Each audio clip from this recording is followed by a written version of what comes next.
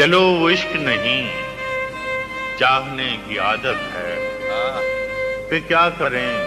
हमें एक दूसरे की आदत क्या कहना तू अपनी शीशा गरी का हुनर न कर जाया।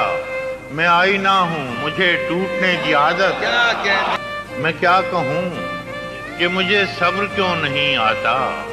मैं क्या करूँ कि तुझे देखने की आदत है? ये खुद अजियती कब तक फराज तू भी उसे न याद कर कि जिसे भूलने की आदत है।